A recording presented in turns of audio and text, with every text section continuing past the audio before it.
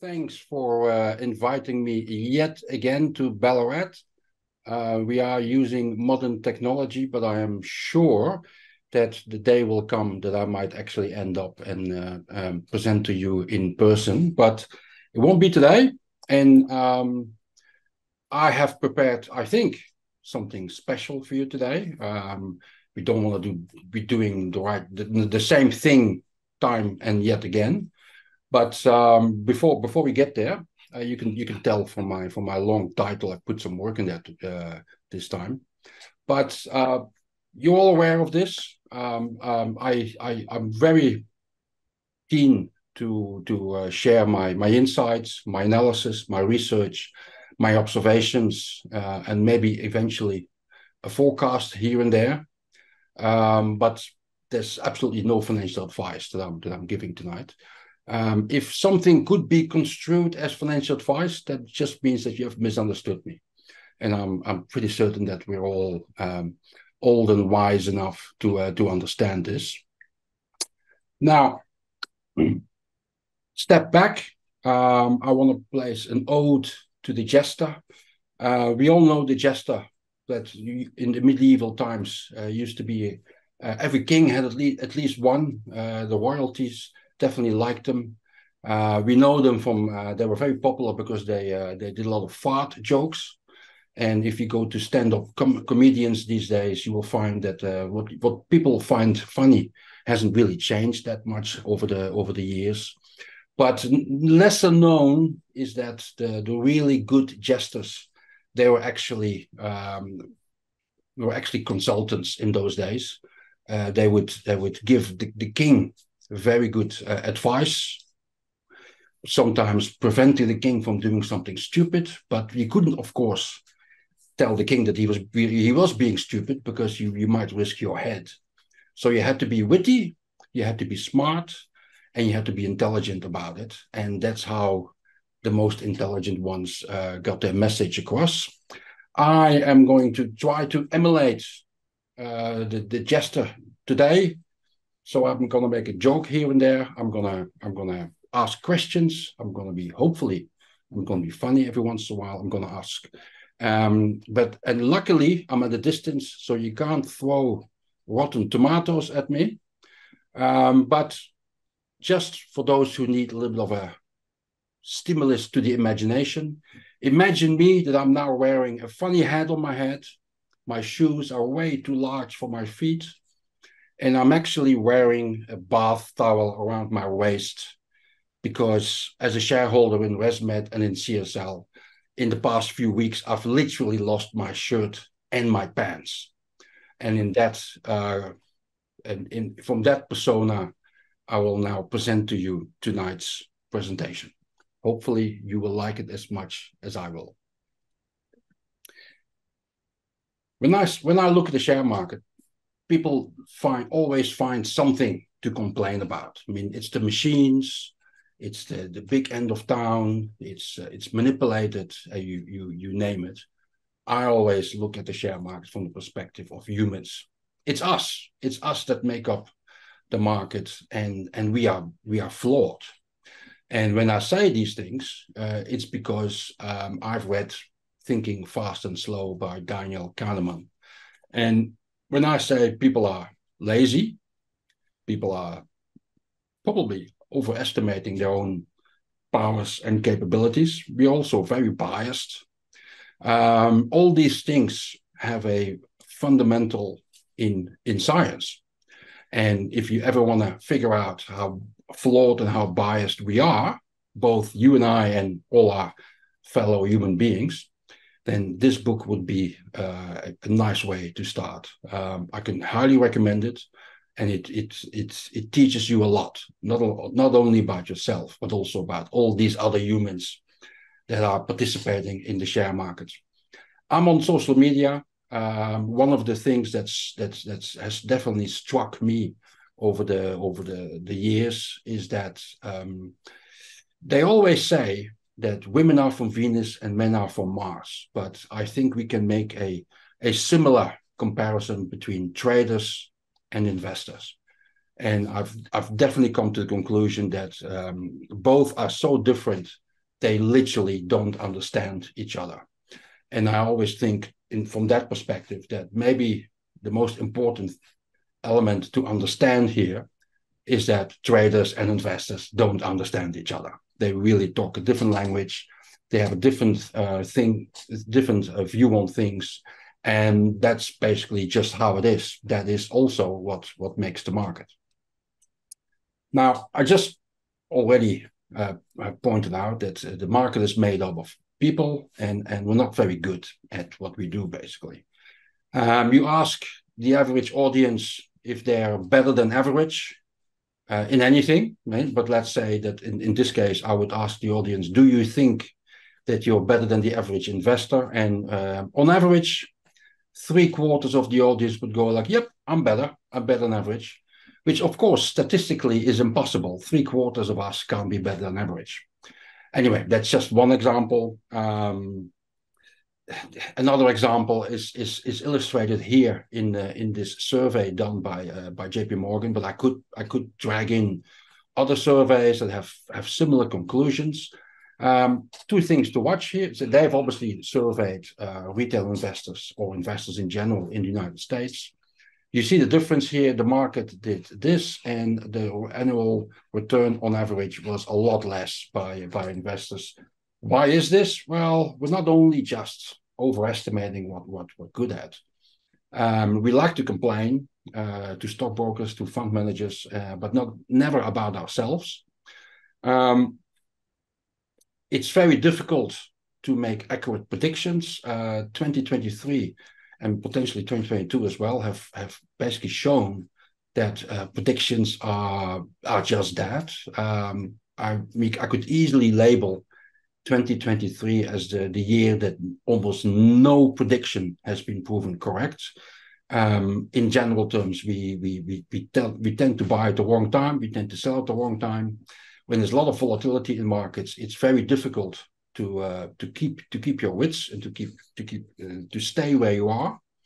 But maybe equally also, right? Uh, one of the one of the things that has that I've really learned over the past few years is uh, just remember not that long ago how how popular Bitcoin was and all those cryptocurrencies. And I always thought the only reason why that is is because the price goes up, and and now that whole sector has has, has stopped uh, going up in in price. And and on my observation, the the average interest has just plummeted.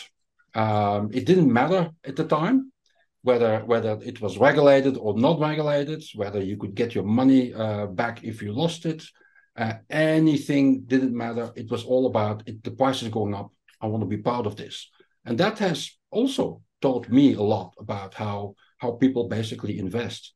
It's only now, of course, that the Australian government has taken up the plan of of um, of regulating at least the, the, the, the, exchanges in, in Australia, but it's obviously way too late for those who already lost their money in the sector. Um, investing, it's uh, it's not for everyone, um, I have to say. It definitely not in, in the same manner. As I pointed out, I, I already touched upon it a little bit. Um, as editor of FNArena, we we we we read a lot of, expert views. We we have the forecasts, we have the data. We bring them all together and make them available to investors. Often they are criticized and a lot. Um, and, and people sometimes ask me like, what are these forecasts actually worth? Well, if anyone's interested, uh, the number is six out of ten. So I've I've done some research uh, a, while, back, and and with the broker research, for example, depending on how you measure it, of course, but uh, there was some subjectivity there. But in general terms, you can make an argument that six out of ten is is accurate. So it's very much up to you whether you emphasize the four or you emphasize the six. And if you talk to uh, to fund managers, for example, uh, six out of ten, uh, they're very happy with that if they can if they can achieve that in a year, when when when you when they run into seven out of ten, um, they know what's coming next. It's a bit like for those who play golf, they will they will know what's coming. When you have a few rounds and you can just you can just hit and everything you do works. Um, you know what's coming next. Next come the rounds when you can't hit a ball, And basically the same thing for fund managers. If they have a year out of seven out of 10, they know they should be worried. Uh, ultimately, it's the market that that that does it. It's not us. Um, same thing with uh, with with with investors. I'm assuming that uh, if we achieve you and I, if we achieve six out of ten in any given year, we have a reasonably good year. This reminds me about um, a, I had the pleasure for for a number of years uh, to read the daily newsletter of Dennis Gartman. Um, unfortunately, um, he, he's no longer publishing that. But at one stage, years ago, though, I must say, maybe that that in that that speech is still available on the internet. He gave a, a wonderful presentation, um, basically opening up about in his career that the numbers would deteriorate year after year. So he wouldn't even get to six out of ten. I mean, it would the number that he got of good trades against bad trades would, would deteriorate year in, year out. Yet his profits would, would, would, would increase year in, year out. So what he was actually been able to do so in his career was basically to maximize the good trades and to minimize the bad trades. And maybe as an investor, that is more important than than when than the number of trades that we that we simply um, have correct. Coming back to um, to the human aspects of the share markets. Um, I on, on a regular occasion, I, I, I come to the conclusion that we we really don't understand what's happening in the share markets. Um, in recent times, uh, for example, shareholders at the AGM of, of CSL, uh, more than 23% or so voted against the numeration of the board for the simple reason that the share price hadn't, hadn't moved or actually had gone downwards. Um, if there's anything I think that that you can't blame the CSL board for, that's the share price. I mean, they have absolutely no control over it. Being a watcher from the sidelines, I think these guys are doing a commendable job in running the business. And unfortunately, uh, that doesn't always uh, correspond in the share price going up. Uh, that's just simply how the market works every once in a while. But us being us, we like to blame someone. And in this case, it had to be the board, of course. Um, coming back to, to what I sort of mentioned already, we've, we've had a lot of forecasts in 2022 and in 2023 that haven't genuinely worked out uh, in both senses. Um, if we're very critical about the share market, um, then the returns last year, uh, on average, uh, at the index level in particular, uh, weren't fantastic, and that's probably mildly.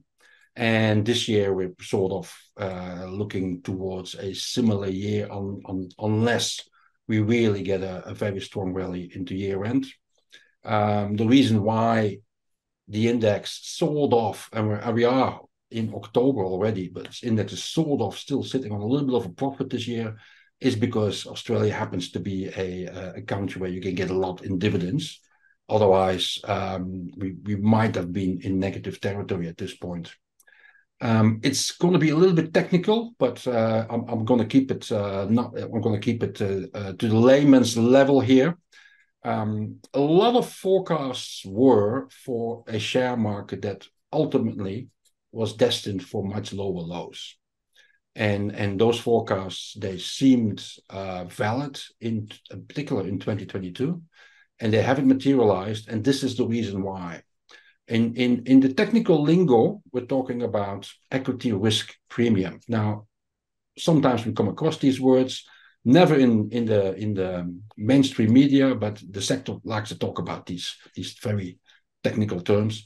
Essentially, what this means is that usually there's a valuation difference between equities and bonds. Uh, in, in relationship because bonds are supposed to be uh, uh, lesser risk and, and you can tell here from this chart here that the, the, the average of the ERP all of a sudden declined in 2022 and in 2023, um, which was very surprising. And nobody saw this coming, and nobody really knows why it happened. Maybe it is because bonds uh, were much more volatile and they weren't the safe haven that they were in the past. I've seen other theories that um, American companies, on average, um, are less cyclical, at least at the top end.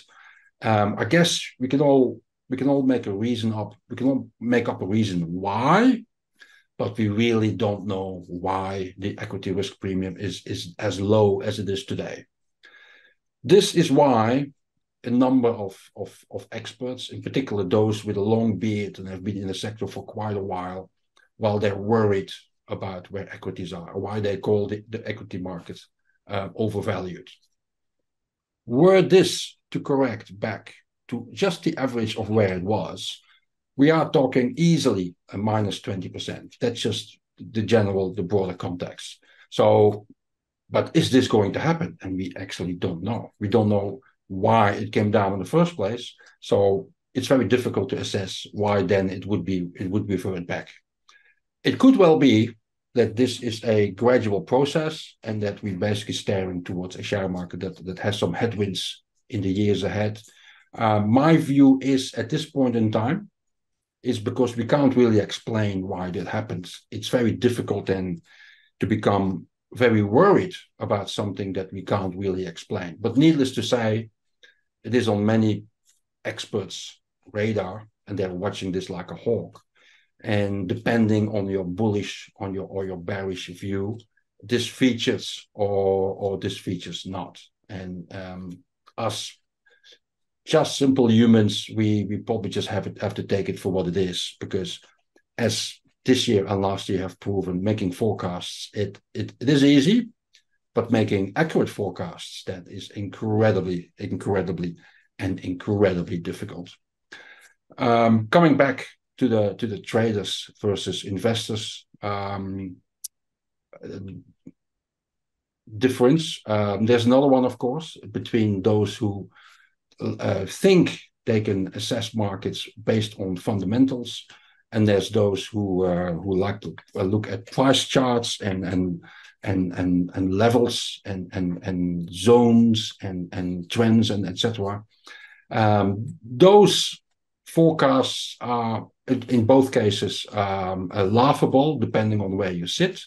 Um, there's no doubt that on occasion, uh, those who um, who like to pay attention to charts are, are laughing their socks off, uh, while all those people based on fundamentals are doing the opposite thing.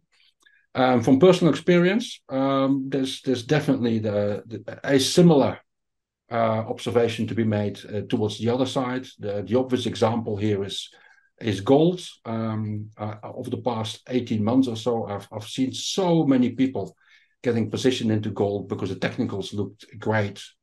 And of course, that that's seldom to never uh, really uh, paid off. And as a fundamentals guy, um, I, I, I knew that I constantly had to make a, a reference to bond yields because ultimately US bond yields, they are the big gorilla in the room and um, they have basically uh, determined where where markets went uh, over the past two years, over the past twelve months or so. Um, it's it's it's if we had the ability to forecast the bond market, then um, we would have perfectly timed the, the equities market. Um, every time bond yields went up, equities had to had to retreat. Every time the bond bond yields came down, equities saw saw a chance to rally uh, it really is almost like a Pavlov's dog. Uh, that's essentially how, how, how share markets have worked over the past 12 months. This is also easily explained why uh, bad news actually proved good news for equities. Um, because as long as the bad news le- led to lower bond yields, equities felt like, hey, we can rally. And whether it is because of algos, machines, or literally uh, us humans um, learning the trade, that's by the by, I think. Um, the obvious observation to make here is, and I'm, I'm, I'll, I'll go to the next slide here because we are now in the territory of bond yields. The obvious observation to make here, and I'm pretty certain that this this this applies to uh, many more among us.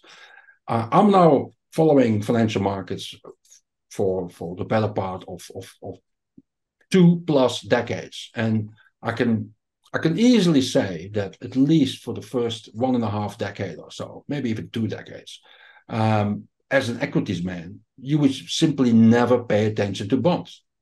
And it's easy for me to say also that uh, most equities experts that I pay attention to, that I see, that I listen to, uh, they would feel very uncomfortable uh, to talk about bonds. It's not their thing. Um, and but the most amazing thing is, of course, that bonds are so important. And for us equities people, you you might as well uh, talk about uh, talk to a Martian. Um, so I'm definitely not going to take uh, too much in, in, terms of forecasting the bond yields. Um, but what I do observe this year is that even the bond market this year has been an enigma for the experts in fixed interest, which basically is the bond market. Um, the one thing, though, that uh, I I think still stands is that bond yields they still do influence uh, economies markets, profits, etc. So the higher bond yields go, and at the moment we are in a phase where the market is basically pricing in higher bond yields for longer. Ultimately, that is almost like similar to a high oil price. It will destroy the other end of the occasion, and we will see lower bond yields. So higher for longer bond yields, in a very ironic way, almost guarantees us that bond yields will not stay high forever, if that makes sense. Now, from this chart, what I, what I, what I wanted to point out here is that the, the, the dark bluish, those are the bond yields, and the yellowy, ochre ones, that's the Fed funds rate. And you will see that almost in every cycle, the bond yields, they usually go higher, at least to the level of where the Fed funds rates implied are at higher again here. And we, until recently, we were not there yet. So that that reset is now happening. And that usually indicates that we are getting towards the end of the cycle. Now, the end of the cycle doesn't mean necessarily tomorrow. It can also be next month, in two months, maybe even early next year. We, it's very difficult to put an exact timing on it. But I do think that I'm not being too much left field here that uh, we are in the in the final phase of, of of the bond market the bond yields rise and that means and this also explains why in recent times yield and and and fixed interest in general is is making a, a, a fierce comeback in the investment world because everyone is thinking hey there's an opportunity here in in high yields um, for example the um, there's there's lots of uh, bond proxies in the share market locally that at current prices will will give us investors um, seven percent, if not more, in in uh, future payouts. In the US, for example, you have high yielding corporate credit, and that at the moment is available in in in in nine percent plus payouts. And as people like to emphasize, a corporate credit is a contract. You pay or you go out of business and um, and so this basically it's it's it's a safer proposition than um, than what we have on the share market, which probably explains why now a lot of money is flowing into into fixed interest again. Having said so, um, there is a certain reluctance because everyone and th- there's been millions out there that have positioned themselves early in the year for lower bond yields already because the timing was off. They've been absolutely, I would like to say, punished, but maybe I should say slaughtered. The, if we were more familiar with uh, and with with with we, I'm, I'm, I'm referring to us as equities people. If we were more familiar with with with the bond markets and with fixed interest, we we would make comparisons with with the GFC and the Nasdaq meltdown. That's how bad the environment has been over the past three years for bonds. Again, it won't go on forever and ever. At some stage, it will change, and and and that is something we should we should definitely take into account when we assess also what is happening in in the share market. Another surprise this year, but uh, maybe not so surprising uh, for more for people that have been a little bit less enthusiastic about about China. Um, I mean, China is the, the, the broad comment to make is that China is is is going on a lower trend growth trajectory, so it won't it won't have the same role as it as it has played post pre and post GFC. Um, the one thing to point out here, and this is why I um, I put up this one, um, the number of companies going bankrupt in the in the United States is is growing quite rapidly now. So higher bond yields are having an impact on the economy. It's just that we're not necessarily seeing it in the share market, broad share market as yet. In China, this is this is a chart that depicts the number of companies that uh, become loss making, and you see that the trend uh, is is very much uh, to the upside. This, of course, also explains why the Chinese authorities uh, find it so difficult to kickstarting that economy again. There's a lot of debt in, in the property sector, concentrated in the property sector. Um, Chinese governance is not necessarily to, to Australian standards. Lots and lots of companies finding it difficult to stay profitable.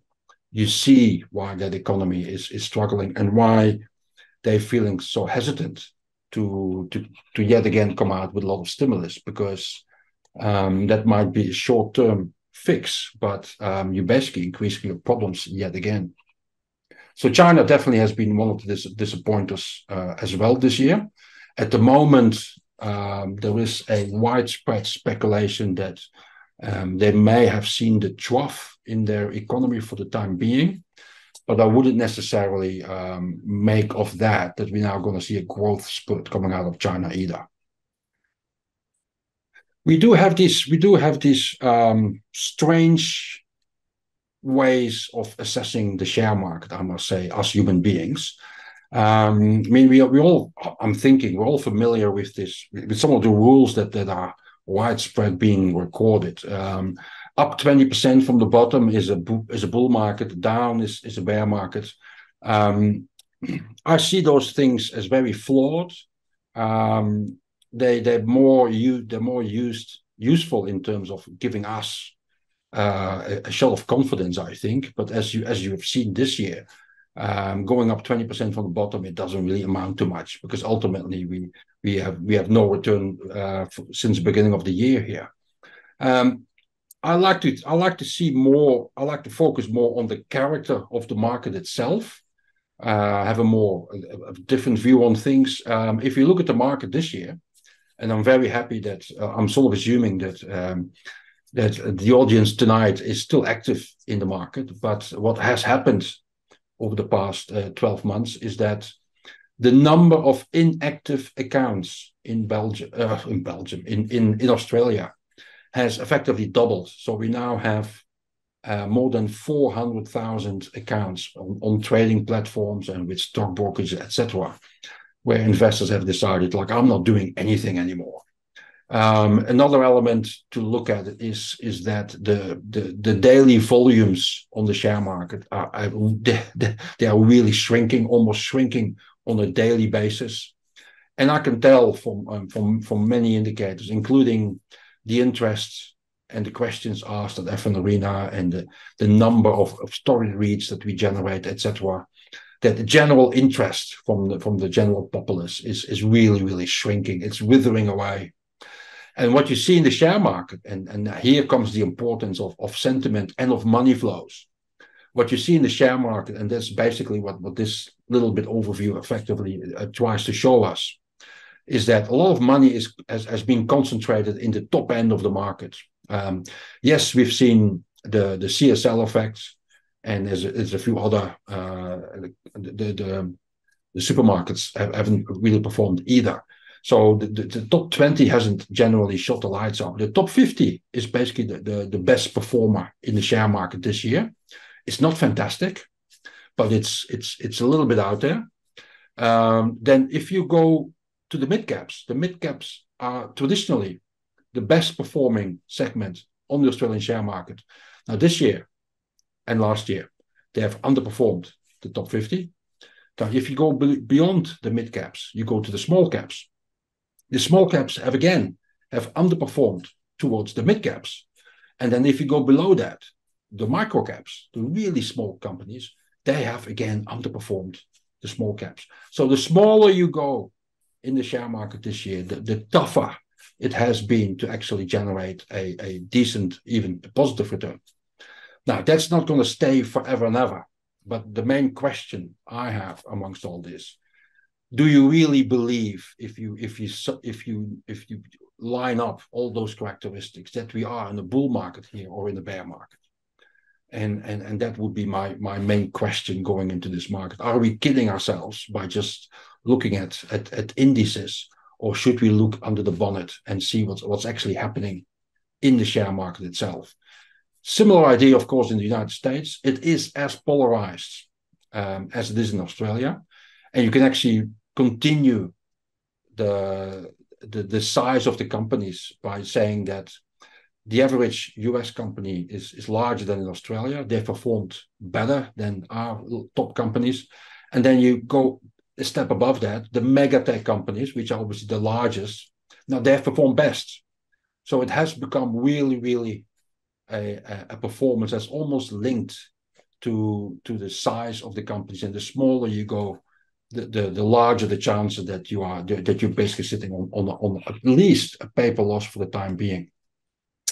Now, the other element that um, has happened in, in share markets um, is that the logical response to the fact that central bankers would en masse all start tightening and all start tightening very rapidly in in a, in a, in in in a relative sense we've never the world has never seen so much tightening from central bankers in such a short time span and so widespread.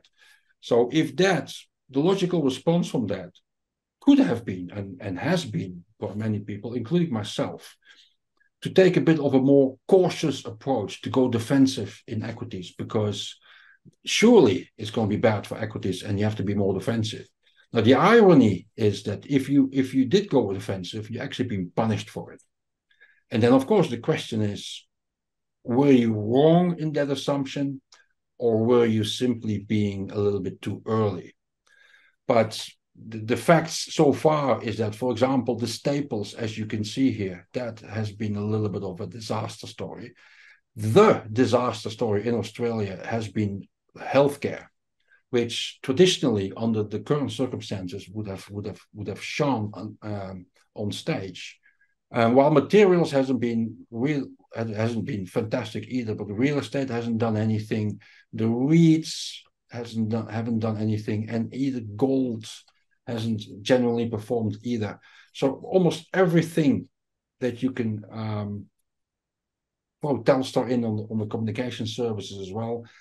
Everything that you can you can denominate as as defensive hasn't really performed so far.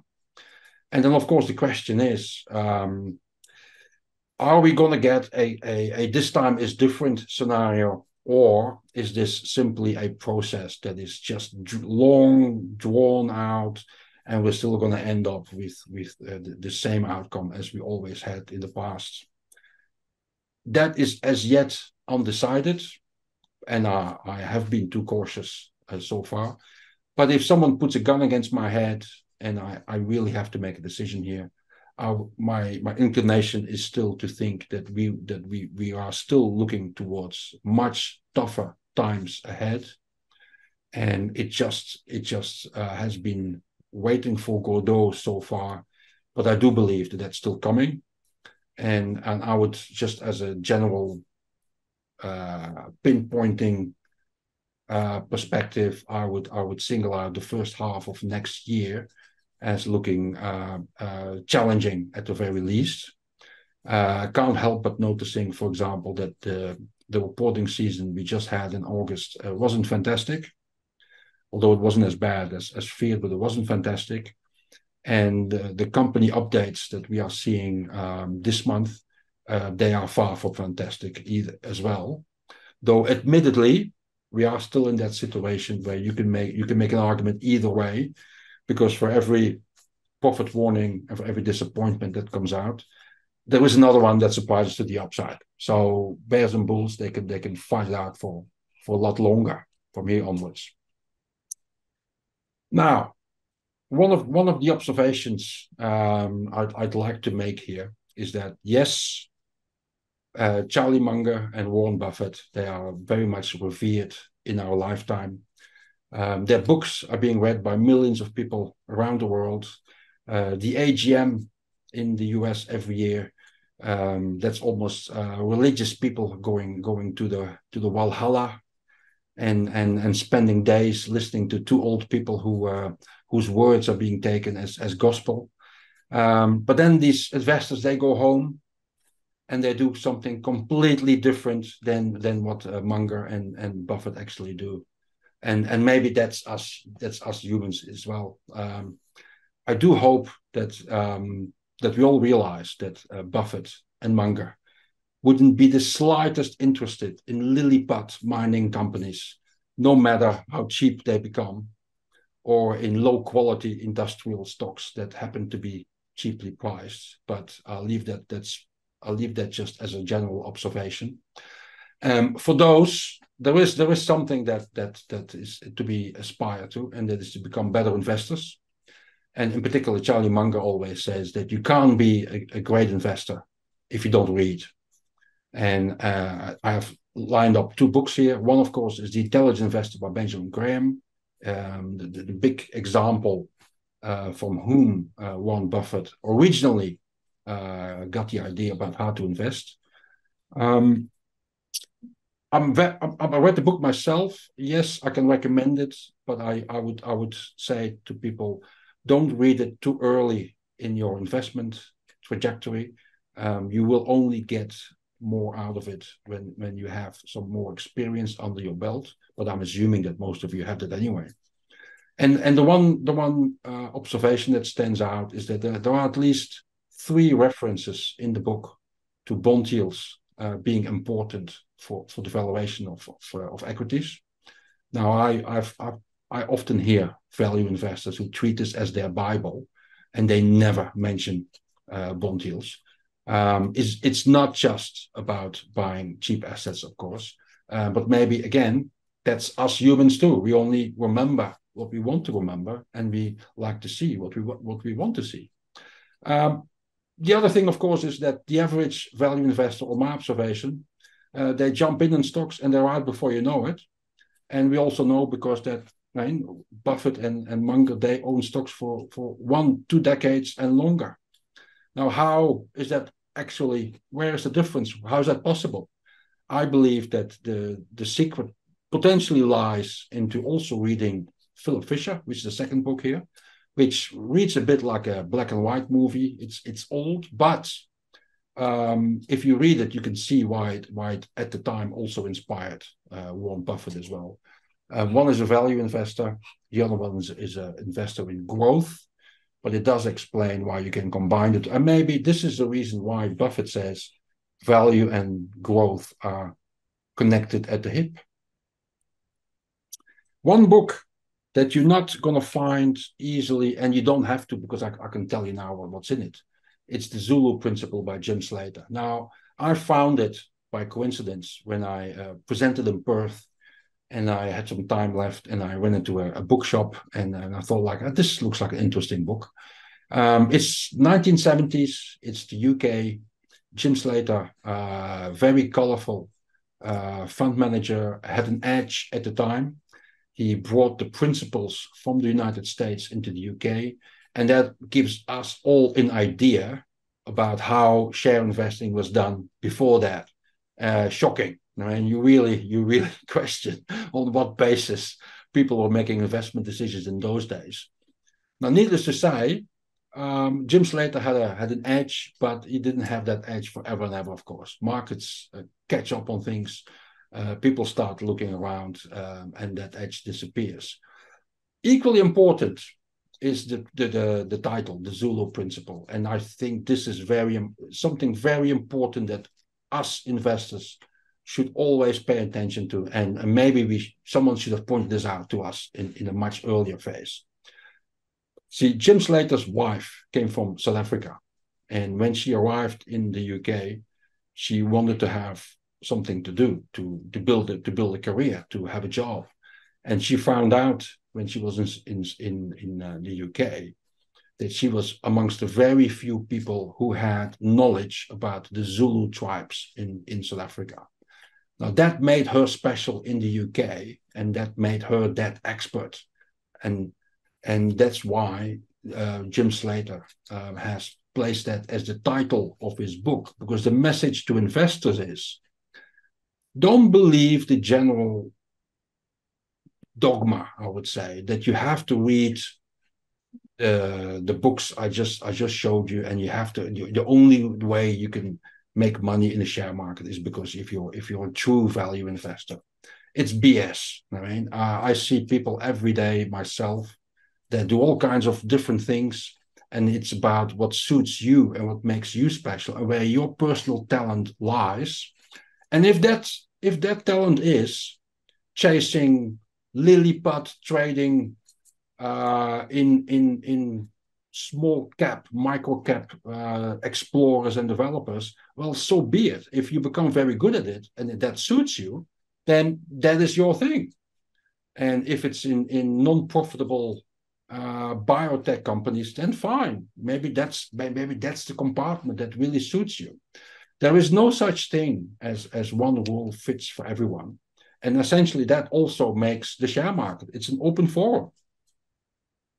The other thing to I think I like to point out from from Jim Slater's book is that he very early onwards, on the basis of of of the, the, the principles he brought over from the United States, he very early onwards developed a, a list of, of, of, of characteristics that he wanted his, his investments to have.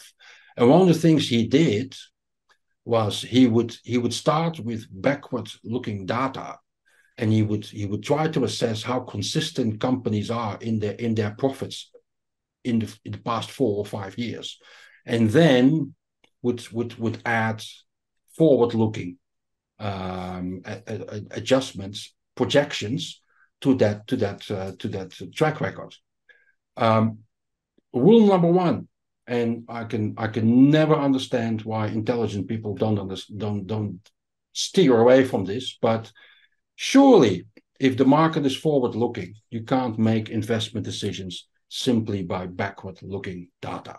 Even backward looking PE ratios, I never understand why people do it. The irony with backward looking PE ratios is people say, like, yes, but it's actuals, it's not forecasts. Yes, but the share market is looking forward. And if the share market hence picks up that that that, that the growth looking forward is less and prices that in, then you with backward looking data, your stock becomes more attractive. It doesn't make sense. I mean, it, it literally is driving a car and looking in the rearview mirror. Anyway, that's my little rant on, on, on backward looking data. The main characteristic I find out of out of Jim Slater's list is that A, he was flexible enough to change his own list pretty quickly onwards because B, markets change. Um, for example, um, he liked companies that that uh, would would on average uh, grow by 20% per year and like to buy them at a PE ratio below 15, for example. Now, in today's market, you'll be very, very much pressed to, to find something like that. His original list included that uh, relatively small cap companies needed to have a yield of at least 4%. Now he had to drop that too because markets change and you can't be rigid in your rules. And I think that's the main characteristic instead of going through the rules. I think the main characteristic I would I would like to point out here is that he was flexible and he and he adjusted as markets adjusted as well. And I think that is the most important thing to remember from someone who was very good at things in the 1970s. Another book for those who, um, who want to do some reading. uh, it's going to be boring for those who those who only like to watch uh, videos. Um, but this book by Michael Kemp, which is um, one of the more erudite experts we have in Australia. Some people might remember him from the from the Barefoot Investor, where he was uh, in the background. Um, in in his latest venture, Michael has spent hundreds of pages to convince the reader that he has been very lucky in his investment career. And if he had to do it all over again, he would simply buy an ETF at low costs and leave it at that. Now, why he needed 400 or 400 or more pages and not just one paragraph, our guess is he likes to write. And the other thing is his publisher probably told him, nobody's gonna gonna spend 35 or 40 dollars on a paragraph telling them to buy uh, ETFs. Now, the book before that is Uncommon Sense, and it I have to say uh, it took me a while to truly uh, appreciate what what Michael was doing. But basically, what he what he does with this book is he tries to explain to investors that everything we have at, as tools, uh, be it technical trading, be it PE ratio, be it uh, price to book, uh, all kinds of uh, valuation methodologies we, we, we use, they're all flawed. Nothing is perfect. Everything has pros and cons. And in essence, that means that what we do, not only we as humans are flawed, but all the methodologies, everything we have in our hands, it's it's it's never perfect. And we have to be flexible and adapt at it and not very rigid because if we get too rigid at it we're basically working with with flawed flawed methodologies and flawed tools of course. I mean the most the most common sense i would say in, in, in, when we read these old books from, from, from 10 20 30 years ago is that we have to realize that the, the economies have changed but not only the economies because there are companies today that that were simply unthinkable of in those days. And we've obviously come to a stage where, where we no longer value all those companies or appreciate all those companies at the same in the same way. And this is why I come now to Aswath Damodaran. And I hope I pronounce it in the right way, but otherwise, he has a website, Damodaran, uh, on, on the website. And this is at the moment the dean of, of, of valuing equities. He's a professor in New York, uh, you can spend a lot of money in going to his courses. But luckily for us, um, he has his own website and he's willing to share as much information as he can for free. So if you have the ambition to uh, stick your nose into how to properly value in uh, today's companies in different sectors, in different stages of development, etc., etc., etc., um, Aswath Damodaran. He also has a, he also has at least one book, uh, but a website, a lot of data, etc.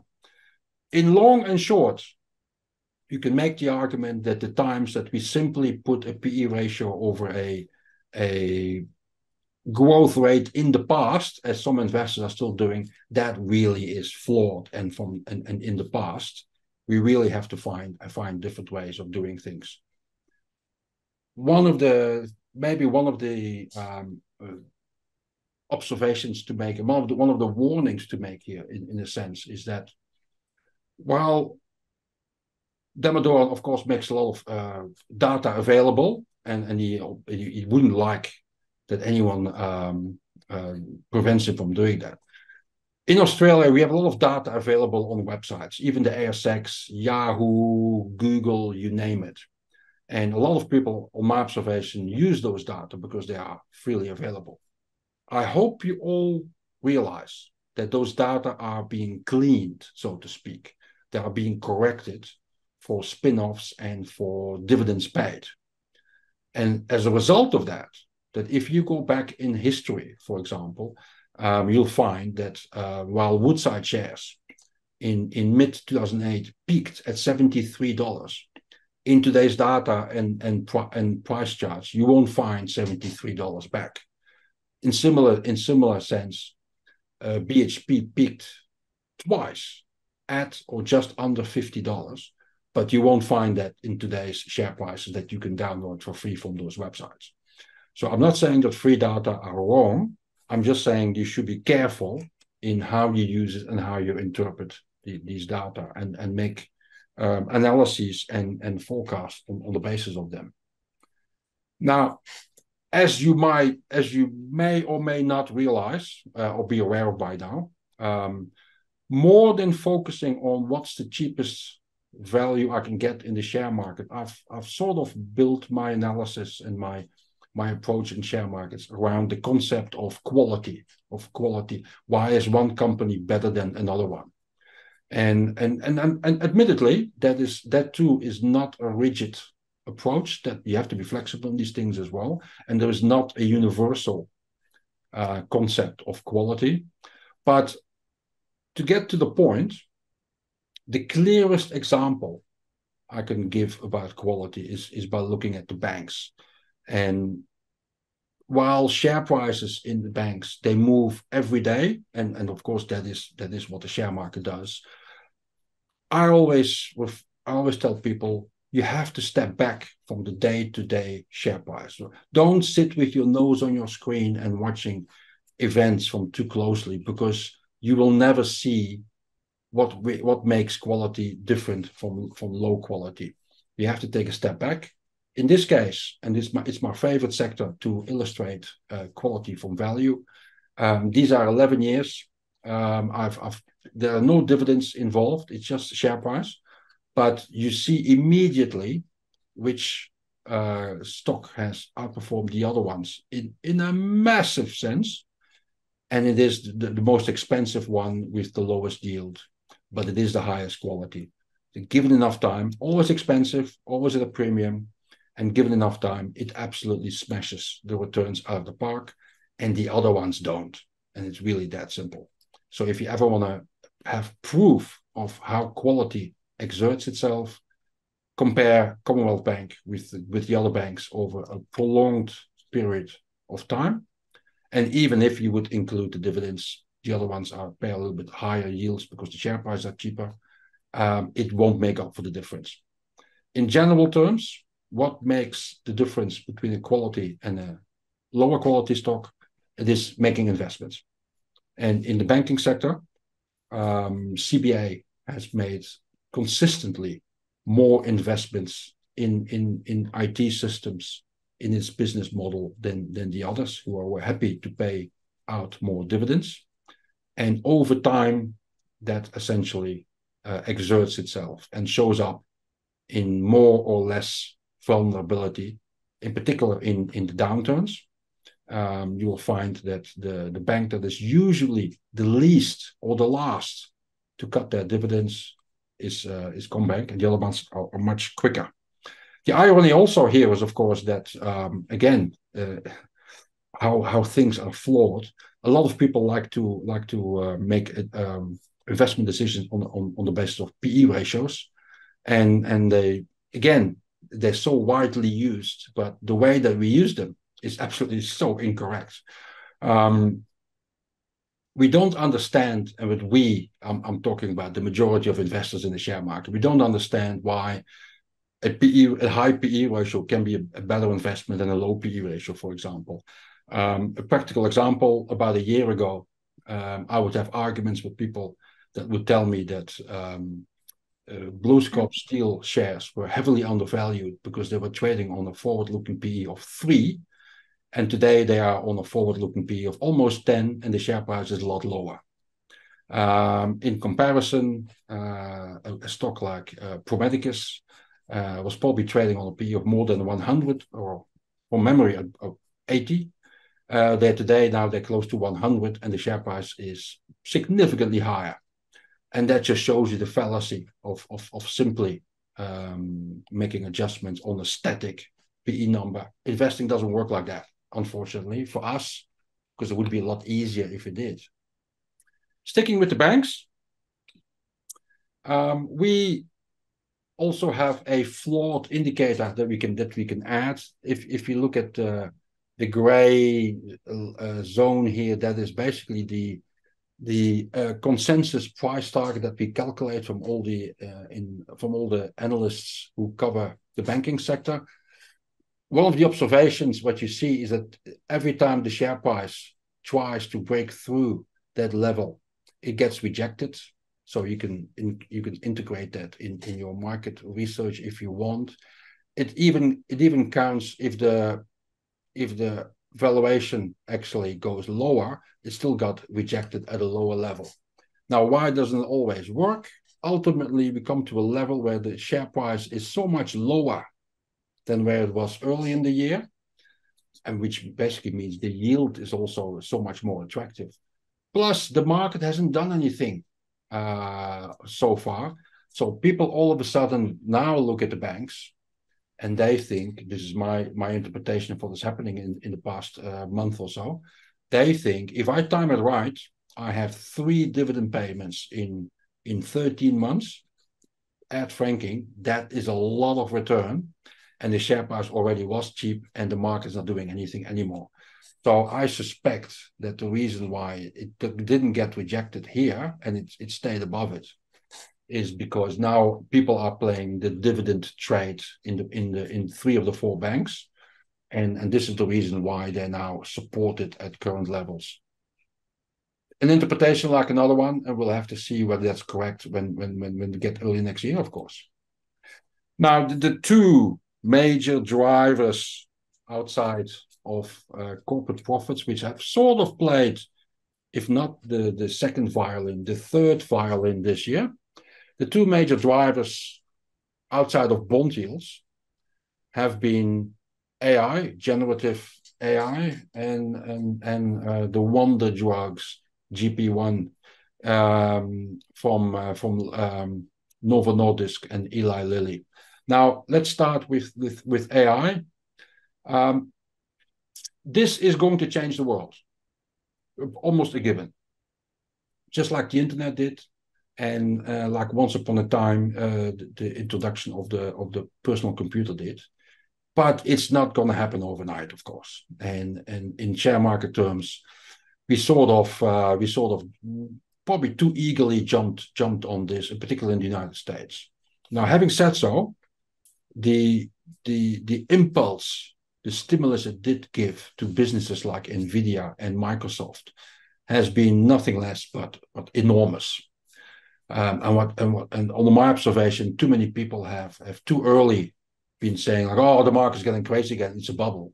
Um, that is not necessarily the case. But what will be the case is that it will it will require a lot of time before businesses of all kinds, because ultimately AI is going is going to is going to be adopted um, just across the board, um, but it's not going to have an impact immediately across the board. And what it will do in, in, in many instances over time, it will help businesses to, to, to get more sales at lower costs, essentially. So you, you so you can you, you can see higher margins and, and, and stronger growth. But in the same respect, also it will break down barriers. So it in some sectors it might heavily, significantly increase competition. And there is the, the pros and the cons. Now, that's all going to take time. A lot of companies will have to make uh, uh, increased uh, investments to, to get this integrated in their business models. In the short term, it's of course, we have beneficiaries already. And in, in on the ASX, uh, the ones that there are not many, but the ones that come to mind uh, are Goodman Group, which, uh, as turned out in August, um, is the uh, stock on the stock exchange to play this theme at this point in time. But we also have NextDC, we also have uh, Macquarie uh, Technology, and we have Megaport, and those companies should all benefit um, heavily from from AI. We have we have we have a host of of, of companies that will benefit in, in a much lesser sense like a Dicker Data, for example, and, and there's a few others. And and of course, uh, I'm I'm not really a fan of playing this theme through Appen. I think um, I'm I'm not convinced that this will ultimately be a net positive for Appen.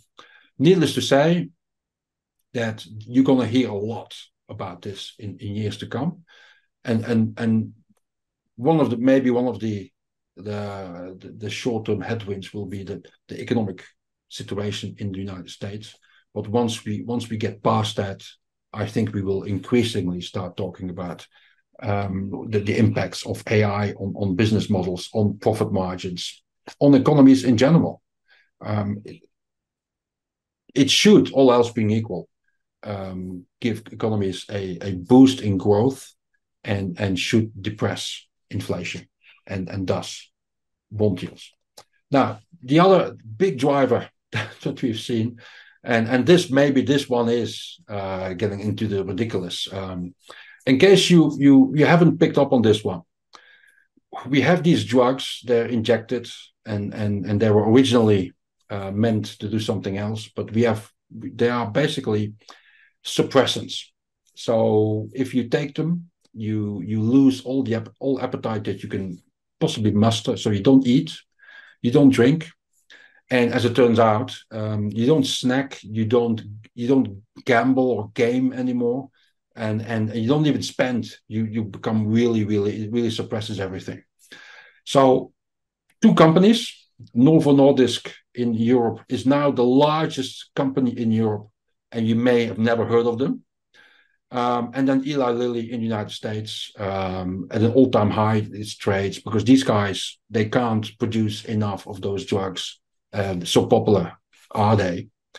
And we've decided um, in share markets that there's going to be a lot of victims of the success of these of these drugs. Um, if I tell you that uh, the average food company in the United States is now down 26% in share price. Um, that probably makes you your head scratch. In Australia, we've seen the effect on uh, ResMed and on uh, CSL. Both share prices have been uh, been have been under attack, and the whole idea is that if we if we solve obesity, uh, then the likes of uh, ResMed don't have a business anymore um, all well and good, but um, reality, as we know, in in many many cases, doesn't work like that. And and I would be among in the camp that share prices uh, that have been hit in Australia um, are now representing very good value, but in the short term, you can't argue with uh, algos, machines, shorters, and the mob. And it remains everyone's guess um, how long and, and how far this this will be taken. The one the one reference that immediately comes to my mind is is uh, Amazon. Um, in 2016, uh, we got wind of the fact that Amazon was coming to Australia, and we just sold every every retailer, every consumer oriented stock. Um, that obviously proved quite silly in hindsight, but it took a while before those before those share prices recovered and and of course retailers have had problems since but it was almost never related to amazon. Even today uh, we, it was so many years later. And i i'm pretty confident that we we will see the same ultimately happen with with these wonder drugs. It's just that it also shows you in a low uh, volume environment and and and in general terms sentiment. It's humans. It is so important. I mean and you can you can probably uh, extend that to the fact that you have micro caps, small caps, and and and mid caps. Um, it's not that those companies all of a sudden are, are all not worth our attention. It's just that main sentiment is not there, and in particular, money flow is not there. It's not going to stay around forever. Just like bond yields will not forever and ever keep on going up. But for the time being, that's the cocktail we have to work with, and on our own, we can't change it. One more thought is that a lot of people tend to get excited when when central bankers um, ultimately stop hiking, and we may or may not uh, be at that point. It's not quite certain at this point in time. There may still be there may still be the occasional uh, further hike uh, in front of us, so we're not there yet. But probably the most important thing is is that if history repeats itself and those rate hikes start having an impact on economies, then the end of of hikes is not good news for the share market. And that's basically what this what this chart shows you. It basically shows that uh, there should be tougher times that that comes uh, after that, and that's what I mean. History shows us. In general terms, um, I I run a portfolio, and that portfolio has definitely uh, not performed uh, to its uh, to its uh, maximum maximum capacity this year uh, or last year. Um, it is built around my my uh, my research into all weather stocks. equally important, um, I've given you some tips about books you can read, but you can also read some of my my writings. They are meant to stimulate your thinking and maybe to educate you a little bit as well. Um, you can reach them uh, if you if you put slash secret after the, the web address of FNArena, and that report is basically I, I, I on a regular basis or irregularly I update that, and you can download it anytime you want. And um, I think I've been talking for quite a while here. I'm, I'm, i might have I might have missed the joke left, right, and center, but and I didn't really put on my my funny hat. And as you can see, I didn't really lose my my shirt and my pants. But um, I hope, just like any other time, that um, I've given you a few things to think about at the very least, and um, I'm open for questions.